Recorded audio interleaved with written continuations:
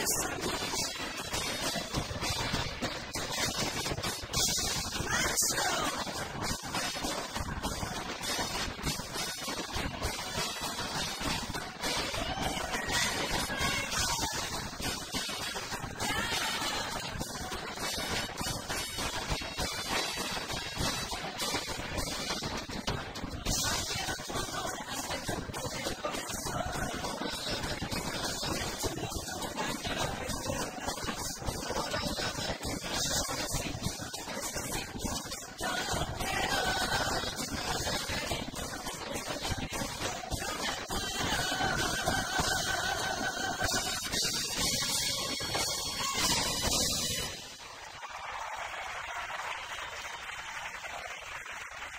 All